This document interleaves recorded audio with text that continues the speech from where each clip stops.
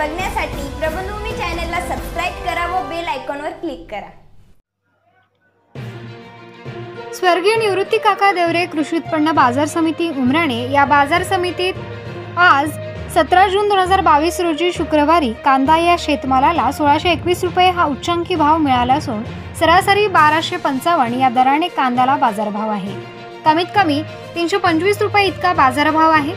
शेतकरी बांधवांनी आपला कांदा शेतीमाल चांगल्या पद्धतीने प्रतवारी करून विक्रीस आणावा जेणेकरून आपल्या कांद्याला जास्तीत जास्त बाजारभाव मिळेल अशी हमी बाजार समितीचे सर्व सभापती संचालक मंडळ तसेच बाजार समितीच्या सर्व व्यापारी बांधवांनी दिली आहे. याच प्रकारे रोजचे बाजारभाव जाणून घेण्यासाठी प्रबंधभूमी चॅनलला सबस्क्राईब करा बेल आयकन दाबा आणि बघत रहा प्रबंधभूमी महाराष्ट्र न्यूज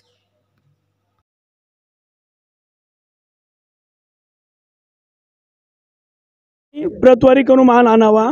तर कृषी उत्पन्न बाजारामध्ये जास्तीत जास्त भाव देण्याचा आम्ही प्रयत्न करू. समितीमध्ये आलेल्या सर्व शेतकरी बांधवांचे हार्दिक स्वागत. कृषी उत्पन्न बाजार समितीमध्ये शेतकऱ्यांच्या मालाला भाव देण्याचा व्यापाऱ्यांकडून कायम प्रयत्न होत असतो. तसंच शेतकरी बांधवांनी सुद्धा मालाची प्रतवारी योग्य प्रकारे करून आणावी. प्रतवारी केलेल्या कांद्याला चा उंचात उंच भाव देण्याचा प्रयत्न व्यापारी बांधव करत असतात. आजही देखील सोळाशे सव्वीस रुपये भाव निघाला आहे. तसा अजून लिलाव भरपूर बाकी आहे. उंचात उंच भाव देण्याचा प्रयत्न व्यापारी वर्गाकडून राहील. शेतकऱ्यांनी आपल्या मालाची प्रतवारी योग्य रीतीने करून आणल्यास चांगला भाव भेटेल. चांगला चांगला भाव भेटेल. शेतकरी शेतकरी सु मार्केट कमिटीची खासियत अशी आहे की हजारी वाहनं आले तरी संध्याकाळी मोकळे होऊन जातं आणि रोख पेमेंट मिळतं. आणि दुसरं वैशिष्ट्य उमराणा मार्केटचं असं आहे एक नंबर माल आणि दोन नंबर मालमध्ये शंभर ते दीडशेचाच फरक असतो. पण तेच लासलगाव दुसऱ्या मार्केटला पाचशे रुपयाचा फरक भेटेल आणि रोख पेमेंट मिळतं. आणि ट्रॅक्टर संध्याकाळी मोकळं होऊन जातं.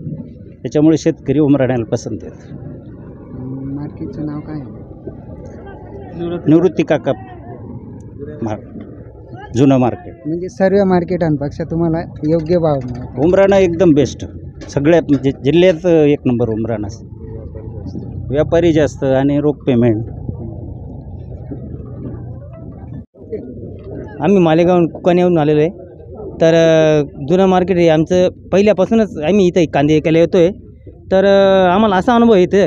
तर सरासरी आणि उंच भाव आणि सरासरीमध्ये काहीच डिफरन्स वाटला नाही.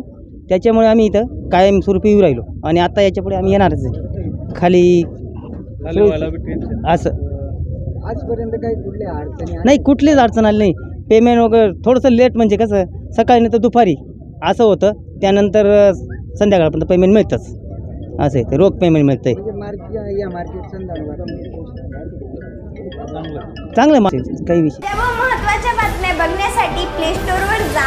प्रबंधभूमी ॲप डाउनलोड करा व या धावपळीच्या जीवनात अपडेट राहा.